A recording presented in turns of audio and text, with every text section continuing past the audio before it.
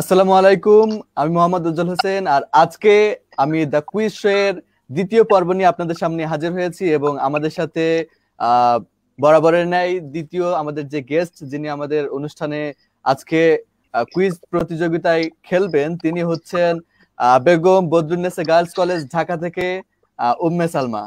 আপনি কি আমাকে শুনতে পাচ্ছেন? ম্যাম আপনি কি আমাকে শুনতে পাচ্ছেন? জি আসসালামু আলাইকুম। আচ্ছা ঠিক আছে। তো আমরা আমাদের কুইজটা শুরু করার আগেই আমরা যখন আমরা অনুষ্ঠানগুলো শুরু করি তার আগেই আমাদের কুইজের নিয়মটা বলে দিই। তো আমি এই পর্বে আপনাকে একটু নিয়মটা বলে দেই। সেটা হচ্ছে আমাদের যখন কুইজটা শুরু হবে কুইজের ক্ষেত্রে আমরা যে নিয়মটা করেছি সেটা হচ্ছে যখন সঠিক উত্তর দিবে তখন এক নাম্বার পাবে এবং যদি ভুল উত্তর দেয় তাহলে সেক্ষেত্রে এক নাম্বার কাটা যাবে। আবার যখন যেহেতু এটা এখনও পর্যন্ত দুইজন পার্টিসিপেন্ট নিয়ে শুরু করা হয়নি সেজন্য আমরা তৃতীয় নাম্বার রুলসটা এই মুহূর্তে বাদ দিচ্ছি। তো আপনি কি আমাদের কুইজটা কি শুরু করতে চাচ্ছেন? আমরা কি শুরু করব? জি আমার মনে হয় শুরু করাটাই বেটার জি। আচ্ছা ঠিক আছে। তো আমরা প্রথমে চলে যাই। আমাদের আমাদের এই কুইজ এর প্রথম যে প্রশ্ন সেটা হচ্ছে বাংলাদেশের টাকশাল কোথায় অবস্থিত? এটা গাজীপুর নারায়ণগঞ্জ ঢাকা নাকি রাজবাড়ী? গাজীপুর। গাজীপুর। নাম্বার এক। এটা কি আমি লক করব? জি। আচ্ছা ঠিক আছে তাহলে আমি গাজীপুর লক করছি। এবং দেখি সঠিক উত্তরটা কি হয়। আর এটা সঠিক উত্তর গাজীপুরি আপনাকে অসংখ্য ধন্যবাদ যে আসলে আপনি যে অনেক ভালো প্রিপারেশন নিয়েছেন বা আপনার অনেক ভালো প্রিপারেশন ছিল, আর আপনি সঠিক উত্তর দিতে পারছেন, সেজন্য আপনাকে অসংখ্য ধন্যবাদ। দেখা দেখা যাক এর পরবর্তীতে আপনার কোন পর্যন্ত আমরা যেতে পারি। তো আমরা এবার পরবর্তী কোয়েশ্চেনে চলে যাচ্ছি। আপনি কি রেডি আছেন? জি জি। আচ্ছা ঠিক আছে। তাহলে আমরা এবার পরবর্তী কোশ্চেনে চলে যাচ্ছি এবং আমাদের পরবর্তী যে প্রশ্নটা সেটা হচ্ছে কোন দ্বীপে বাতিঘর আছে? এটা কি কুতুবদিয়া দুর্বারচর সুবর্ণচর নাকি বাউলার চর? কুতুবদিয়া কুতুবদিয়া বাতিঘর। এটা কি আমরা লক করব? মিনিট। জি জি কুতুবদিয়া কুতুবদিয়া আমরা কি লক করব? জি। আচ্ছা ঠিক আছে তাহলে আমরা কুতুবদিয়া লক করছি এবং দেখি সঠিক উত্তরটা কি হয়। এবং সঠিক উত্তরটা কুতুবদিয়াই আপনাকে আবারও অভিনন্দন যে আপনি দ্বিতীয় নাম্বার প্রশ্নটা সঠিক উত্তর দিতে পেরেছেন। তো এই মুহূর্তে আমরা জি ধন্যবাদ। আমরা তৃতীয় নম্বর প্রশ্নে চলে যাচ্ছি। তার আগে একটা বিষয় আপনাকে জানিয়ে রাখি সেটা হচ্ছে আমরা এই শোটা চলাকালীন সময় আপনার যদি পাশে হেডফোন থাকে তাহলে সেই হেডফোনটা লাগিয়ে নিন যাতে ইকোটা না হয়। এটা কিন্তু আমাদের শোকে অনেকটা এই সমস্যা সৃষ্টি করতে পারে। তো আমরা কি এবার পরবর্তী কোয়েশ্চেনে চলে যাব?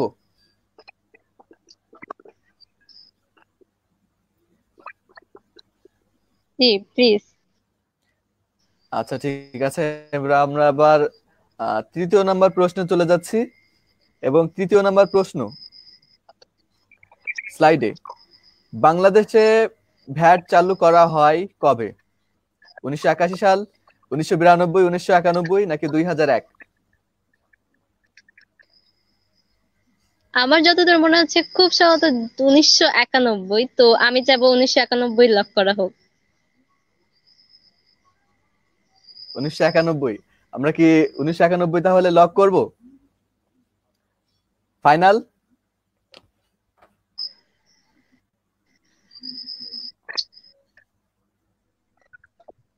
জি।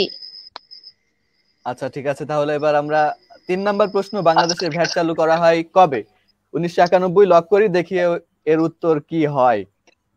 এবং এর উত্তর উনিশশো একানব্বই। আপনাকে আবারও মানে এই অনুষ্ঠানে যে এসেছেন এবং এত সুন্দরভাবে উত্তরগুলো দিতে পারছেন তার জন্য আপনাকে অসংখ্য ধন্যবাদ জানিয়ে আমরা এবার পরবর্তী কোশ্চেনে চলে যাচ্ছি। আমাদের পরবর্তী প্রশ্ন। বাংলাদেশের জাতীয় পতাকার ডিজাইনার কে? কামরুজ্জামান কামরুল রহমান কামরুল আহসান নাকি কামরুল হাসান? কামরুল হাসান। কামরুল হাসান। কামরুল হাসান আমরা একটু দেখে নেই।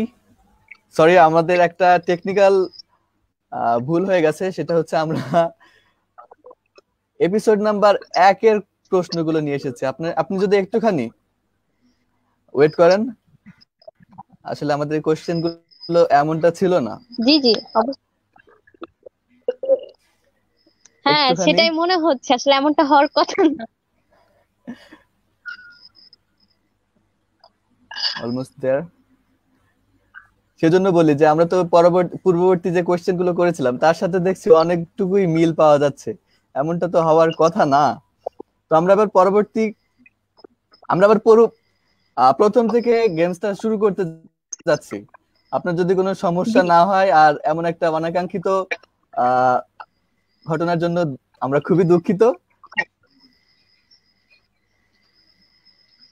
কোনো সমস্যা নেই আমরা আবার প্রথম থেকে শুরু করি। আচ্ছা। আমাদের প্রথম প্রশ্ন।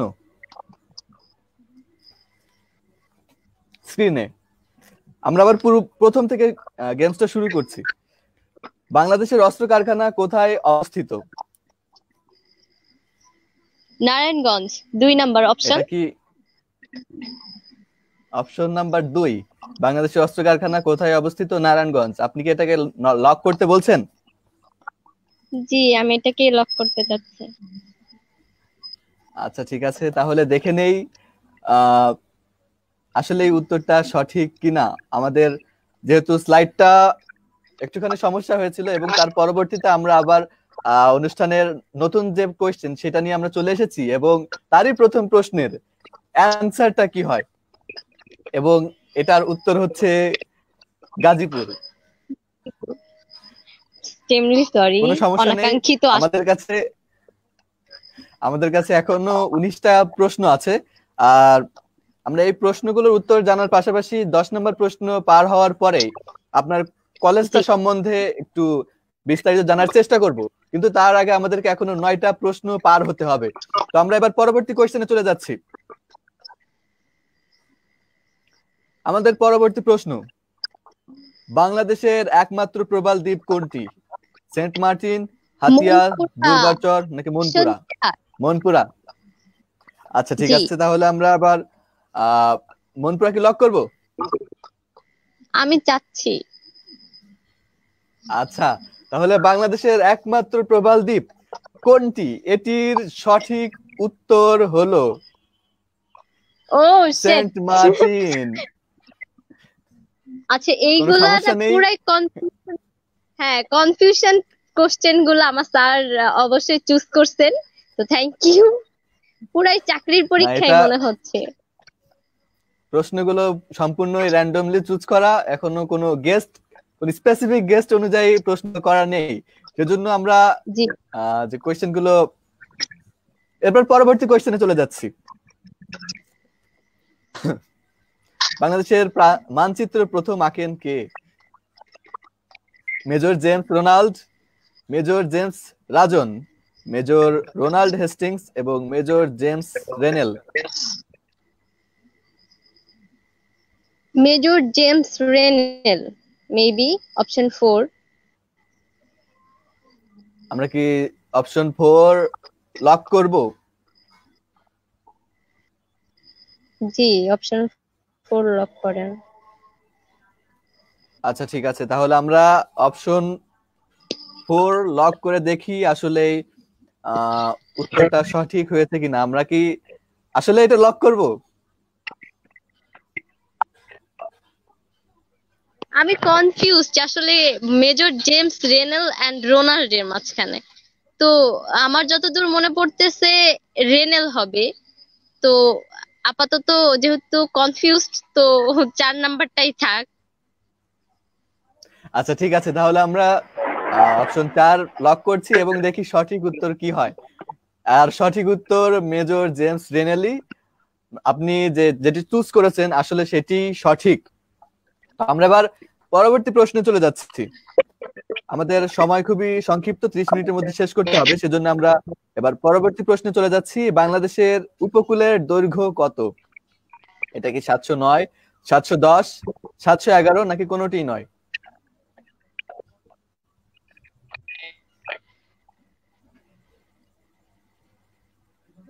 বাংলাদেশ আপনি কি শুনতে পাচ্ছেন? সাতশো দশ খুব সম্ভবত আমি অপশন দুই লক করতে চাই সাতশো দশ। সাতশো দশ। তাহলে আমরা সাতশো দশ লক করে দেখি আসলে এটার সঠিক উত্তরটা কি। এবং সঠিক উত্তরটা হলো সাতশো এগারো। ও। সমস্যা নেই আমাদের কাছে এখনও ষোলোটা কোয়েশ্চেন আছে। ইতিমধ্যে আপনি একটা সঠিক উত্তর দিতে পেরেছেন সেজন্য প্লাস এক আছে। এবং আমরা আবার পরবর্তী কোয়েশ্চেনে চলে যাই। পরবর্তী যে কোয়েশ্চেন সেটা হচ্ছে নিজুম দ্বীপের পুরাতন নাম কি? এটা বাউলার চর হুকুম চর দুর্বার চর নাকি হাতিয়া?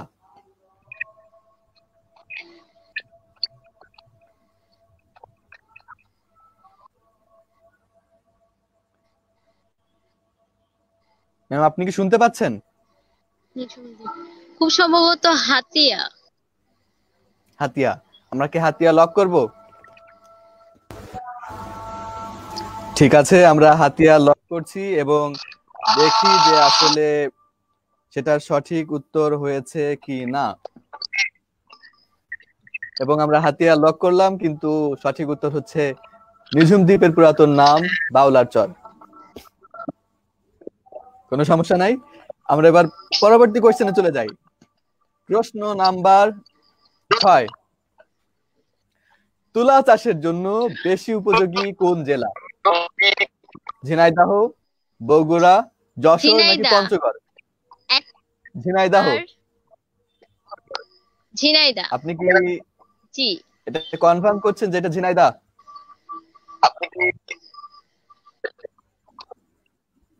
লক কনফার্ম ঝিনাইদা আচ্ছা তো আমরা দেখি যে জি। ছয় নাম্বারের উত্তর ঝিনাইদা হয় কি না কিন্তু তার আগে আমি আপনাকে একটা প্রশ্ন করতে চাই। সেটা হচ্ছে আপনার বাসা কোন জেলায়? যশোর কিন্তু আমার জানা মতে ঝিনাইদা সবচেয়ে বেশি তুলা চাষের জন্য উপযোগী। আর তামাক চাষের জন্য কুষ্টিয়া ধান চাষের জন্য ময়মনসিং আর হচ্ছে আচ্ছা। আপনার এই এইগুলাই তো তুলা চাষের জন্য কনফিউশন মিক্সড আছে যে যশোর না ঝিনাইদা। তো আমি যে লাস্টটা সেটা যে আমার জানা মতে এটা ছিল ঝিনাইদা। আচ্ছা ঠিক আছে। তাহলে আমরা যেহেতু আপনি ঝিনাইদহ লক করতে বলেছেন কিন্তু সঠিক উত্তরটা হচ্ছে যশোর।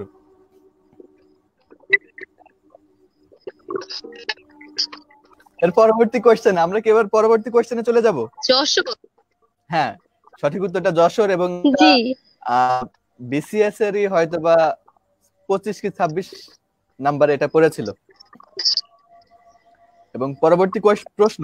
আচ্ছা এটা কততম বিসিএস এর জানা যাবে কি? এটা আমাকে একটুখানি সময় দিলে আমি এটা বের করে দিতে পারব।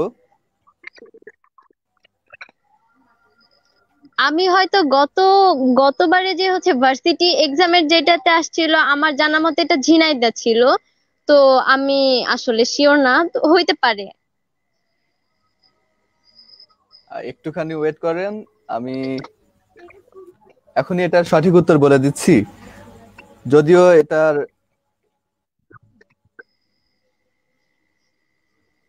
এটা কত নম্বর বিসিএস সেটা এখানে লেখা নেই। তো আমাদের এখন এই মুহূর্তে যশোরটাকেই মেনে নিতে হবে। আমাদের পরবর্তী প্রশ্ন কিন্তু এর মধ্যে সামনে চলে এসেছে। আচ্ছা ঠিক আছে আমরা যশোরকে মেনে আহ, বাংলাদেশের জাতীয় পতাকার অনুপাত কত? এটা কি দশ ইস্টু ছয়? পাঁচ ইস্টু তিন? এক দশমিক ছয় ইস্টু এক? নাকি সব কয়টি?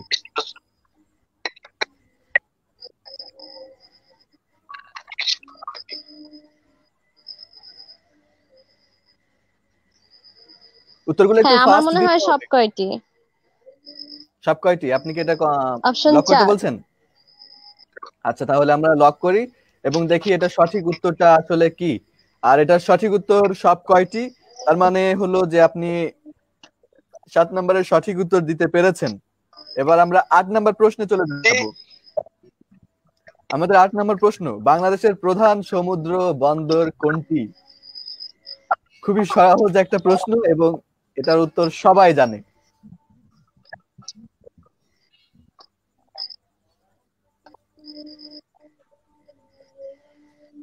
বাংলাদেশের প্রধান সমুদ্র বন্দর চট্টগ্রাম। চট্টগ্রাম। এটাকে আমি আর কনফার্ম করছি না কারণ এটার উত্তর তারপরেও দেখি এটার উত্তর আসলে কি হয়। এবং এটা চট্টগ্রাম। আমরা পরবর্তী কোশ্চেনে চলে যাচ্ছি এবং আমাদের পরবর্তী প্রশ্নটা হলো কর্ণফুলী নদীর উৎপত্তি কোথা থেকে? এটা হারসাই পাহাড় লুপাই পাহাড় তাজিংডং পাহাড় নাকি লোসাই পাহাড়? অপশন চার লুসাই পাহাড় কর্ণফুলী নদী। আমি কি এটাকে লক করব? জি। আর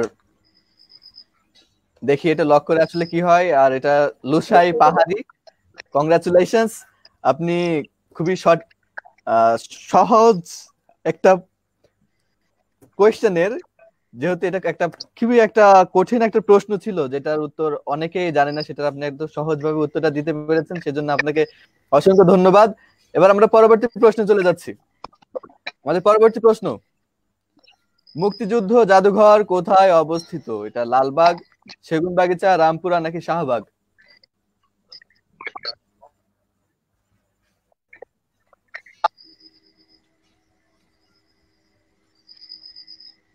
আমার যতদূর জানা মুক্তিযুদ্ধ জাদুঘর সেগুন বাগিচা। অপশন দুই। সেগুনবাগিচা আমরা কি এটা কি লক করব?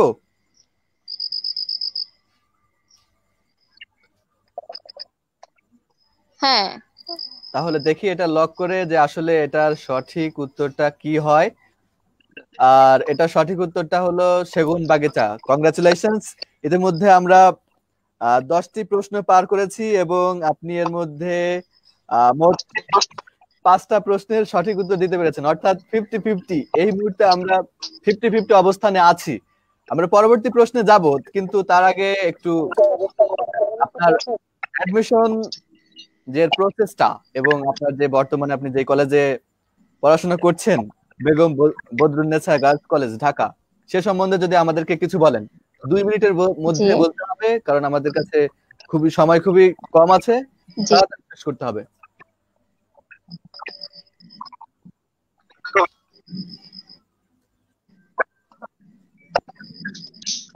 আচ্ছা আমার কলেজের নাম বেগম বদরুন্নেসা সরকারি মহিলা কলেজ। এটা প্রতিষ্ঠিত হয় উনিশশো ছেচল্লিশ সালে। আর এই কলেজের নামকরণ করা হয় বাংলাদেশের প্রথম পর- নারী পররাষ্ট্রমন্ত্রী বেগম বদরুন্নেসার নামে। তো আমাদের ঢাকা ঢাকা বিশ্ববিদ্যালয়ের অধিভুক্ত সাতটি কলেজের মধ্যে অন্যতম হচ্ছে বেগম বদরুন্নেসা সরকারি মহিলা কলেজ। তো এতে ইন্টারমিডিয়েট সেকশনও আছে, আর ভার্সিটি সেকশনও আছে। তো আমাদের স্টুডেন্টরা যারা অ্যাডমিশন দিচ্ছে, তো সেম লাইক ভার্সিটি টাইপেরই ওইভাবে তাদেরকে এক্সাম দিতে হয়, তাদেরকে সেভাবে প্রিপেয়ার থাকতে হয়। মার্কস অনুযায়ী তাদেরকে কলেজ চুজ করতে হয় সাবজেক্ট চুজ করতে হয়। এটাই, আর হচ্ছে যেহেতু এটা একটা গার্লস কলেজ তো পুরাই মানে ম্যামদের আর হচ্ছে মানে গার্লস পাওয়ার বেশি। তো এই আর কি Begum Badrunnesa girls college girls teacher everything girls only girls girls power যাদের গার্লস পাওয়ার খুব বেশি পছন্দ I I think they should choose this college আচ্ছা তো এখানে আপনার যে কলেজ সেখানে কি সায়েন্স আর্টস এবং কমার্স তিনটারই কি আলাদা আলাদা বিভাগ আছে নাকি কোনো স্পেসিফিক একটা বিভাগই সেখানে চলছে। হ্যালো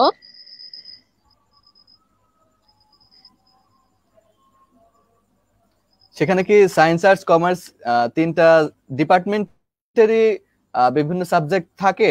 নাকি সেখানে শুধুমাত্র অন্য কোনো একটা স্পেসিফিক ডিপার্টমেন্টের স্টুডেন্টরা থাকে?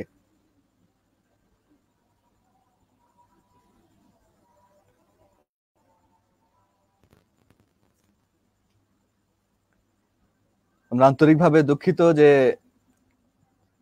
তার লাইনটা এই মুহূর্তে কেটে গেছে। আমরা আবার চেষ্টা করব যে তিনি যেন আবার আমাদের সাথে সংযুক্ত হতে পারেন।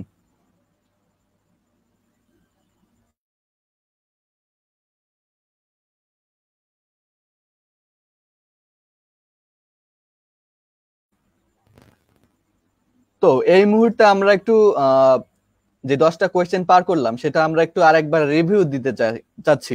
তো আমরা এবার আমরা আবার প্রথম থেকে এটা রিভিউ দেব। সেজন্য আমরা আবার এক নাম্বার প্রশ্ন থেকে আমরা আমাদের গেস্ট আসার পূর্ব পর্যন্ত আমরা একটু এটা রিভিউ দিয়ে নিই এবং দেখি যে আসলে এখানে কি কি প্রশ্ন ছিল। তো এক নম্বর প্রশ্ন ছিল বাংলাদেশের অস্ত্র কারখানার কোথায় অবস্থিত? সেটা হচ্ছে গাজীপুর আর তারপরের প্রশ্ন, বাংলাদেশের একমাত্র প্রবাল দ্বীপ কোনটি? সেটা ছিল সেন্ট মার্টিন। তৃতীয় নাম্বার প্রশ্ন, বাংলাদেশের মানচিত্র প্রথম আকেন কে? সেটা হচ্ছে মেজর জেমস ভ্যানেল চতুর্থ প্রশ্ন, বাংলাদেশের উপকূলের দৈর্ঘ্য কত? সেটা হচ্ছে সাতশো এগারো। নিঝুম দ্বীপের পুরাতন নাম কি? বাউলার চর। তুলা চাষের জন্য বেশি উপযোগী কোন জেলা? সেটা হচ্ছে যশোর। পরবর্তী প্রশ্ন, বাংলাদেশের জাতীয় পতাকার অনুপাত কত? দশ ইস্টু ছয়, পাঁচ ইস্টু তিন, এক দশমিক ছয় ইস্টু এক। এটার সব কয়টারই উত্তর হবে? এবং বাংলাদেশের প্রধান সমুদ্র বন্দর কোনটি? এটা হচ্ছে চট্টগ্রাম। কর্ণফুলী নদীর উৎপত্তি কোথা থেকে? সেটা হচ্ছে লুসাই পাহাড়। এবং দশ নম্বর প্রশ্ন, মুক্তিযুদ্ধ জাদুঘর কোথায় অবস্থিত? এবং এটির উত্তর হচ্ছে সেগুন বাগিচা তো আমরা এবার পরবর্তী প্রশ্নে চলে যাব। আমাদের সাথে আমাদের গেস্ট ইতিমধ্যে আবার সংযুক্ত হয়েছেন। তো আমরা আমাদের পরবর্তী প্রশ্নে চলে যেতে চাই। আপনি কি রেডি আছেন?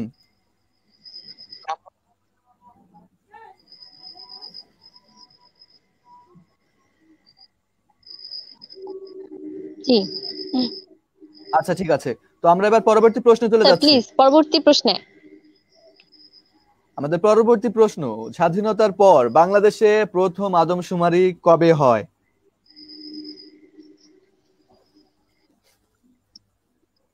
উনিশশো তিয়াত্তর উনিশশো চুয়াত্তর উনিশশো পঁচাত্তর নাকি উনিশশো ছিয়াত্তর? প্রথম আদমশুমারি খুব সম্ভবত উনিশশো চুয়াত্তর অপশন দুই। উনিশশো চুয়াত্তর আমরা কি উনিশশো চুয়াত্তর লক করব? জি। আচ্ছা ঠিক আছে, তাহলে আমরা উনিশশো চুয়াত্তর লক করি এবং দেখি সঠিক উত্তরটা কি হয়। আর উনিশশো চুয়াত্তরই সঠিক উত্তর। আপনাকে অভিনন্দন জানাচ্ছি এবং আমরা আবার পরবর্তী প্রশ্নে চলে যাচ্ছি। আমাদের পরবর্তী প্রশ্ন, বাংলাদেশে কোথায় চীনামাটির সন্ধান পাওয়া গেছে? বিজয়পুর, জাবেদপুর, পঞ্চগড় নাকি সুবেদপুর?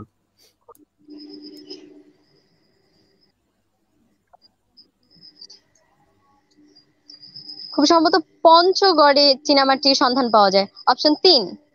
পঞ্চগড় তাহলে আমরা কি পঞ্চগড় কি লক করব?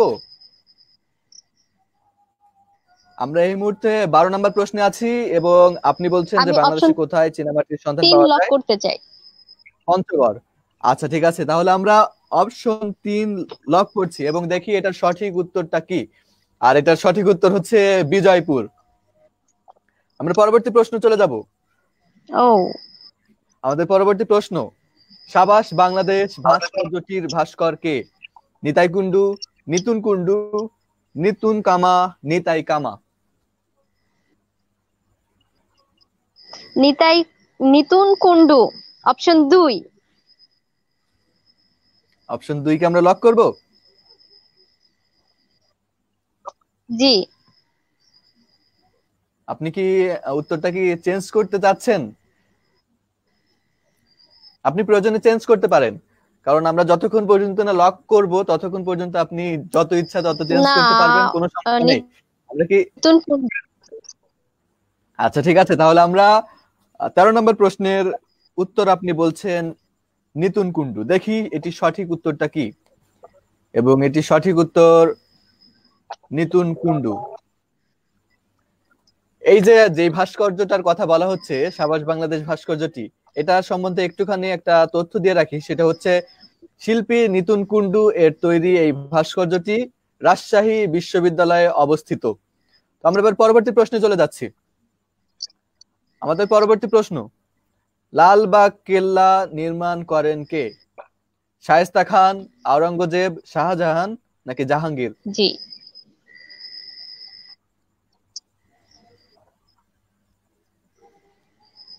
শায়েস্তা খান অপশন শায়েস্তা খান আমরা শায়েস্তা খান। আমরা কি লক করব? লালবাগ কেল্লা জি। আমার যতদূর মনে আছে আচ্ছা। শায়েস্তা খান অপশন এক। আওরঙ্গজেব নয় কেন?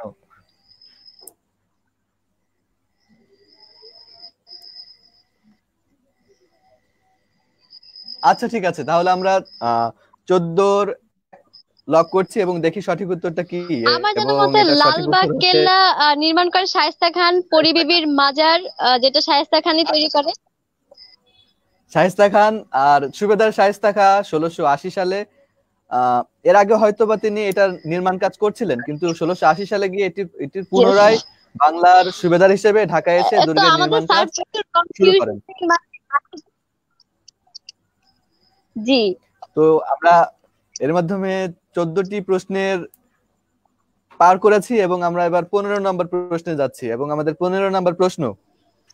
রবীন্দ্রনাথ নোবেল পুরস্কার লাভ করেন উনিশশো তেরো সালের কোন মাসে? এতদিন পরে এসেছি উনিশশো তেরো সালে কিন্তু এটা কোন মাসে?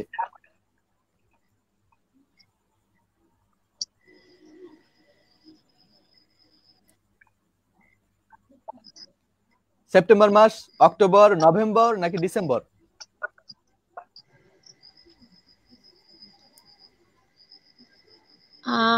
আমার যতদূর জানা অপশন এক হবে সেপ্টেম্বর মাসে। সেপ্টেম্বর আমরা কি এটা লক করব? না সেপ্টেম্বর সেপ্টেম্বর আচ্ছা তাহলে আমরা সেপ্টেম্বর করি এবং দেখি এটার সঠিক উত্তরটা কি? এটা হচ্ছে নভেম্বর উনিশশো তেরো খ্রিস্টাব্দের দশই নভেম্বর বুধবার সাহিত্যে নোবেল ঘোষণা করা হয়। পরদিন খবরটি ইংল্যান্ডের বিভিন্ন পত্রপত্রিকায় মুদ্রিত হয় কিন্তু তা বিলম্বে কলকাতায় পৌঁছে। অর্থাৎ উনিশশো তেরো খ্রিস্টাব্দের আচ্ছা। নভেম্বর মাসে নোবেল পুরস্কার লাভ করেন রবীন্দ্রনাথ ঠাকুর। তো আমরা এবার আচ্ছা। ষোলো নম্বর প্রশ্নে চলে যাচ্ছি। আমাদের কাছে ষোলো নম্বর প্রশ্ন রাষ্ট্রের প্রধান আইনজীবীকে কি বলা হয়? অ্যাটর্নি জেনারেল অ্যাটর্নি জেনারেল নাকি কোনোটি নয়? অ্যাটর্নি জেনারেল লক করব? জি অপশন তিন লক করেন। আচ্ছা তাহলে আমরা ষোলো নম্বরের অপশন তিন লক করি এবং দেখি এটা সঠিক উত্তরটা কি এবং এটির সঠিক উত্তর হচ্ছে অ্যাটর্নি জেনারেল কংগ্রাচুলেশনস আমরা এবার সতেরো নম্বর প্রশ্ন চলে যাব। আমাদের কাছে সতেরো নম্বর প্রশ্ন পরিবিবি কে ছিলেন? শায়েস্তা খানের কন্যা শায়েস্তা খানের শায়েস্তা কন্যা নাকি জাহাঙ্গীরের স্ত্রী?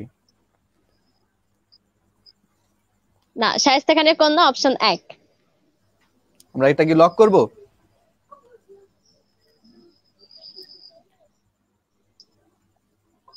জি। এটা এটা লক করছি এবং দেখি এটার সঠিক উত্তরটা আসলে কি। এবং এটি হচ্ছে শায়েস্তা খানের কন্যা।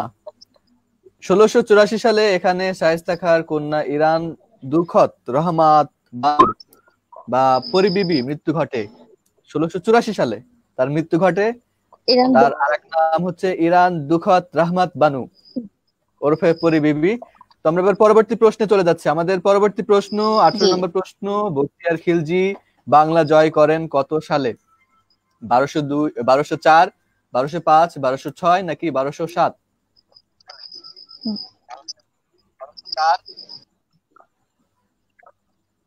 অপশন এক বারোশো চার। বারোশো চার আমরা কি বারোশো চার লক করব?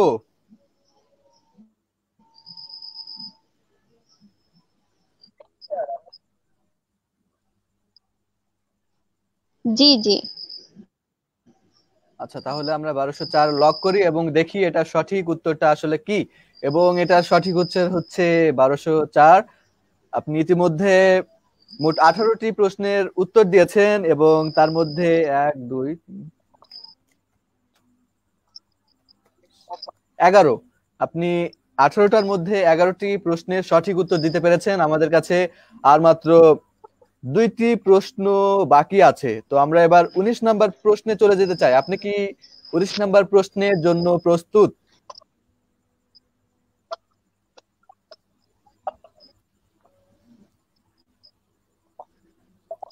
আমরা এবার যাচ্ছি উনিশ নাম্বার প্রশ্নে।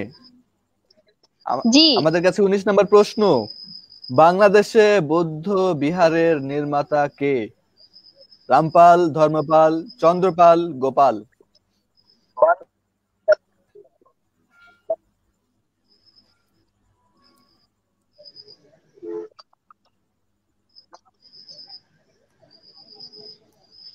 বৌদ্ধবিহার খুব সম্ভবত অপশন এক রামপাল। রামপাল আমরা কি রামপাল লক করব? আপনি কি প্রশ্নের এই উত্তরটার অপশন কি চেঞ্জ করতে চাচ্ছেন?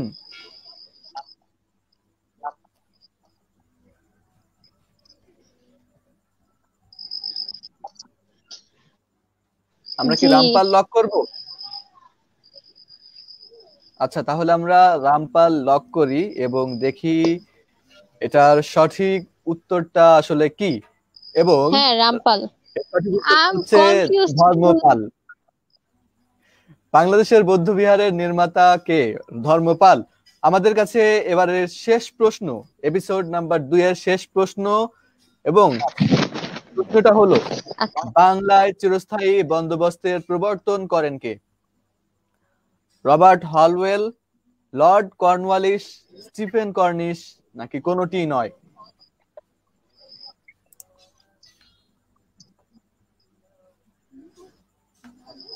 লর্ড কর্নওয়ালিস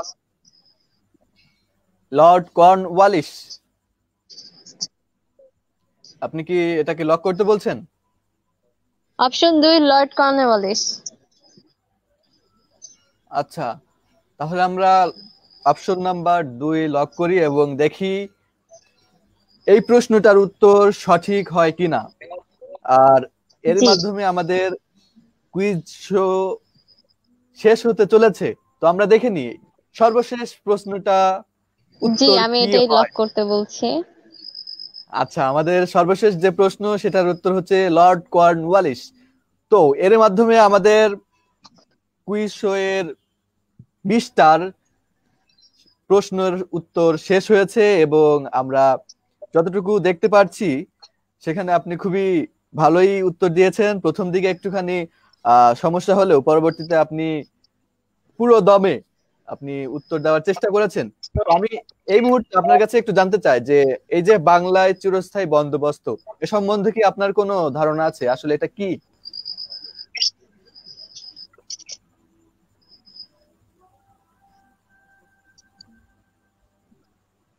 আপনি কি শুনতে পাচ্ছেন?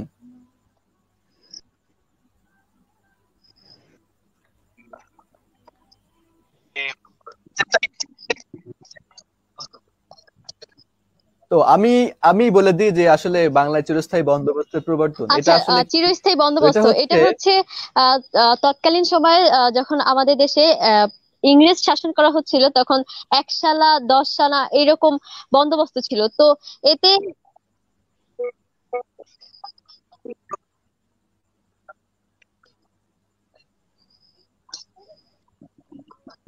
আপনার কথাগুলো স্পষ্ট শোনা যায়নি, তো আমি একটু বলে দিই আসলে যে চিরস্থায়ী বন্দোবস্তটা আসলে কি। সেটা হচ্ছে চিরস্থায়ী বন্দোবস্ত। সতেরোশো তিরানব্বই সালে কর্নওয়ালিস প্রশাসন কর্তৃক ইস্ট ইন্ডিয়া কোম্পানি সরকার ও বাংলার ভূমি মালিকদের, সকল শ্রেণির জমিদার ও স্বতন্ত্র তালুকদারদের মধ্যে সম্পাদিত একটি স্থায়ী চুক্তি। এর প্রবক্তা লর্ড কর্নওয়ালিস এ চুক্তির আওতায় জমিদারে, জমিদার ঔপনিবেশিক রাষ্ট্র ব্যবস্থায় ভূ সম্পত্তির নিরঙ্কুশ স্বত্বাধিকারী হন।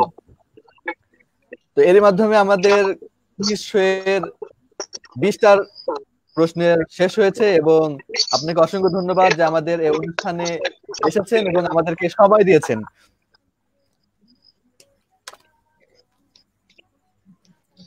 এই মুহূর্তে কি আপনি কিছু বলতে চান আমাদের অনুষ্ঠান সম্বন্ধে?